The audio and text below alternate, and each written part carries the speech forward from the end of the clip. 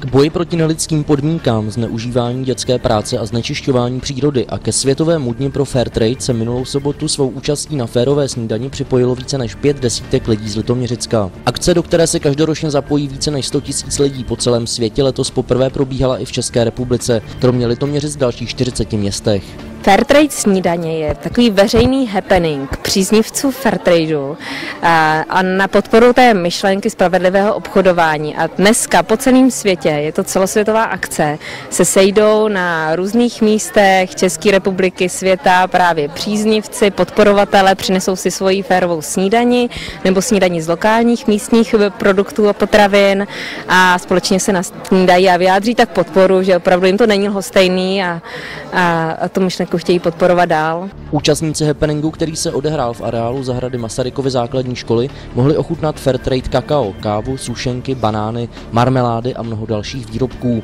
Součástí litoměřické férové snídaně byla i soutěž o nejlepší férovou buchtu. Mezi desítkou přihlášených domácích výrobků, na které byly použity suroviny Fairtrade, zvítězil koláč Hany Kuldové.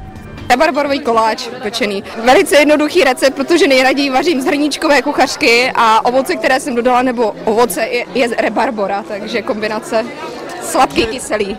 Na organizaci se podílelo zdravé město Litoměřice, které usiluje o statut fairtradeového města, Združení Shinebean, které vede rozvojové projekty v Keni, knihovna Karla Hinka Máchy, středisko ekologické výchovy Sever a Masarykova základní škola, která poskytla zázemí pro uspořádání snídaně. Věřím, že fairtradeová snídaně se stane tradicí a velkou tradicí města Litoměřice a budou tady další akce, které budou na podporu fairtradeu a na osvětu. A, takže to teprve fairtradeovou snídaní teprve začíná. 看到没